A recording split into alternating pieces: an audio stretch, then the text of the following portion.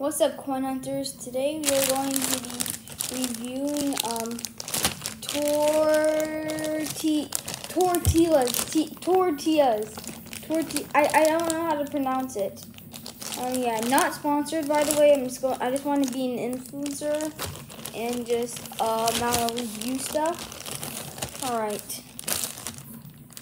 I tried this. I tried this yesterday and I, I couldn't like get the get the details that um I I had like like I couldn't I couldn't go to the past and like be like hey coin hunter from yesterday what did it taste like? I can't do that I can't time travel but I'm, I'm gonna be eating it again. It's a corn tortilla tortilla I don't know. Okay uh let's just I'm not having it with anything so um, let's just eat the tortilla. Mm.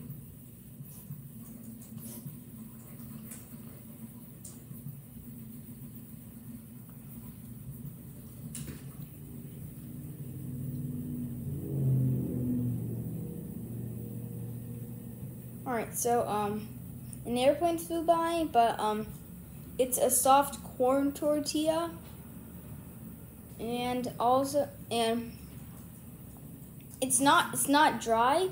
It's pretty sweet. Let me check that. All right. Okay, I don't I don't I don't know if the you know, nutrition facts is on nutrition facts is lying, but no no total sugar, no added sugar. Mmm.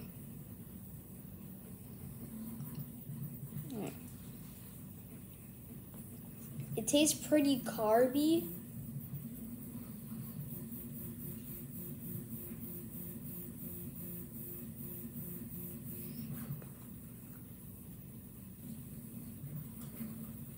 The one thing about um, tortillas by itself is um, there's like a little bit of taste, but it's a texture that tastes good.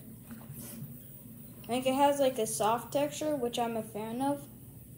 So, um, yeah.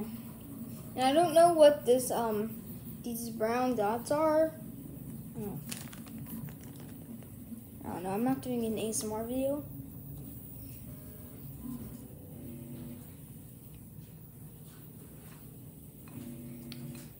According to the nutrition facts, it has, um, 150 calories. I don't know how that much that is.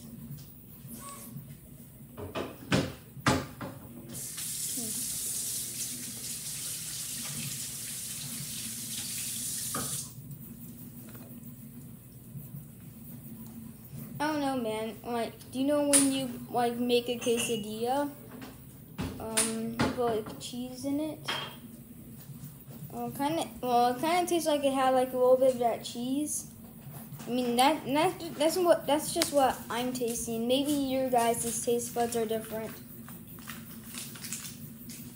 I bought these yesterday at a um at a local um um fruit stand. That's what I'm pretty sure you call it. Hmm. So yeah, see you next time, and bye bye, coin hunters. No, bye bye, guys. Let's just go to default.